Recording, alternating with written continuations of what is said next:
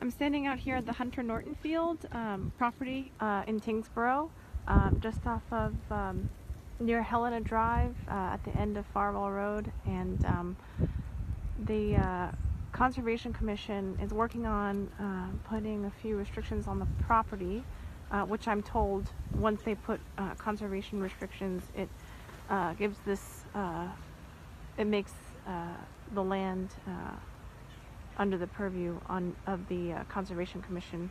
Uh, there was previously a, an issue over who uh, actually controlled the land, the Selectmen or the Conservation Commission. So they've settled that. Um, meanwhile, the um, people who want to fly drones here, I'm told, can do so uh, if they are operating on an individual basis, um, not as a club. Um, apparently, neighbors are still upset though, and I'm told they've called the uh, police twice